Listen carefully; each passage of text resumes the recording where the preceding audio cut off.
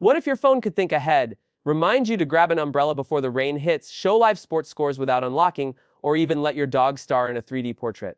No, it's not a sci-fi dream. Samsung's One UI 8 is turning your Galaxy into the smartest version of itself yet, and the lock screen. It's no longer just a screen, it's becoming your real-time dashboard. And the Now bar, let's just say it's finally leveling up from me to must-have.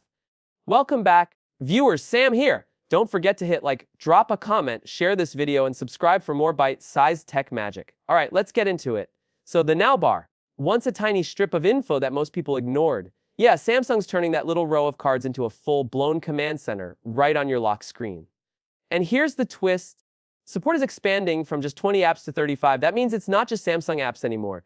Picture this, controlling Spotify, tracking your Uber, checking your pizza delivery, all without unlocking your phone. And it doesn't stop there. Thanks to Android 16's new system, Wide Live Activities API, One UI 8 might soon let any app plug right into the Now bar. Real-time updates at a glance. If Samsung flips the switch on this, your lock screen will go from passive to powerful. Imagine seeing live sports scores from ESPN or your buddy's ETA from WhatsApp. Right there, no tapping, no waiting. And if you're rocking a Galaxy Z Flip, you're in for a treat. Until now, the outer screen's now bar was just for show. But One UI 8 changes everything. You'll finally be able to tap swipe and interact directly on the cover screen. Waiting for a ride, you don't even have to open the phone to see where it is or reply. That's a big deal for quick, one-handed use on the go. But that's just the start. Samsung's going deep on weather awareness. There's a new umbrella reminder inside modes and routines. If rain's coming, your phone gently nudges you. Hey, might rain today. Take an umbrella. And every morning it actually talks to you, good morning, it's 8 a.m., and it's 76 degrees outside. It's like your phone just became your personal assistant minus the awkward small talk. Visually, One UI 8 is stunning. New live wallpapers adjust to the time of day, sunny tones in the morning, dusky hues at night. Add in Samsung's new expressive widgets and your home screen just feels alive. And yes, 18 new widgets just dropped. If you're into customizing, these are a dream. Now, multitasking, previously split screen lets you juggle two apps, but with limits. Now, one app can take up nearly the whole screen while the second shrinks into a floating bubble. Tap it and bam, it's back. It feels natural, fast, and finally makes real multitasking on a phone work. Quick Share just got turbocharged. No need to open files first, just tap the toggle in quick settings and you get a full sharing hub, ready to send or receive, share across apps instantly, and yes, Samsung's weather app finally looks worthy of your phone. Think stunning animations, smoother transitions, and visuals that almost feel ray traced. They're likely using GPU shader tech to make skies and sunlight look hyper-real. Call customization also leveled up. Contact cards now have live previews so you can perfectly place your profile pic. No more guessing how your selfie will crop when you call someone. And Auracast, way more seamless. Your friends can now scan a QR code to sync music across devices. No passwords, no hassle. Party mode unlocked. Even call recordings are now searchable by contact. So you're not scrolling endlessly anymore. Just tap a person's name and boom, every call, every recording neatly sorted. Dex modes feeling love too.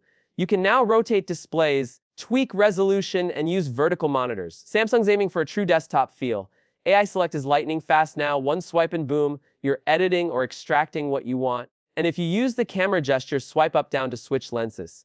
Now you can reprogram it to open quick settings instead. Feels more intuitive. Accessibility got a meaningful upgrade too. You can now zoom using on-screen buttons. Magnifier now shows bigger keyboard keys. Bluetooth hearing aids can be paired via single easy to find setting. It's clear Samsung's trying to make One UI 8 easier for everyone to use. Oh, and this will blow your mind, there's a new portrait studio just for pets. You can give your cat a fisheye lens selfie or turn your dog into an oil painting. Want cartoon effects, depth blur, or a magazine style filter for your furry friend. It's built right in. Let's not forget notification cooldown. Ever turn on Wi-Fi in the morning and get spammed with 30 pings at once? One UI 8 will now auto dampen those alert sounds so you won't feel like your phone's screaming at you. Smooth and smart. Screenshots now auto-sort. Boarding passes, coupons, QR codes. No more digging through a mess of images. And the My Files app now groups downloads by where they came from. Instagram pics, PDF from WhatsApp, it's all categorized now. In Samsung Health, new challenges let you compete with friends. Who walks more? Who runs faster? It adds some fun motivation, perfect for accountability. Even Secure Folder got an invisibility cloak. You can hide apps, use separate biometrics, and even remove Secure Folder from the app drawer entirely. It won't show up in search. In suggestions, now that's stealth. The calendar and reminders got streamlined too. Now you can drag and drop to reschedule events, auto-categorize to-dos, and use a new quick add menu with smart suggestions. All of this shows one thing, One UI 8 isn't just about flashy features, it's about knowing how people use their phones. It's less show offy, more smart and subtle.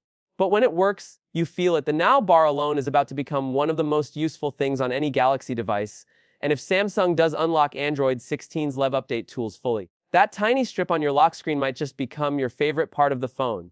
So what do you think? Will the Now bar finally become a must-use feature, or is Samsung just trying to dress up an old idea? Let me know in the comments below, and if you want more deep dives like this, I've got a killer video on how to make your Android feel lightning fast, and another one featuring 15 underrated apps you'll wish you discovered sooner. Tap one, binge both. If you made it this far, you're the real MVP. Smash that like button, share this with your techie friends, and don't forget to subscribe for more smart updates every single week. Catch you in the next one. Sam out.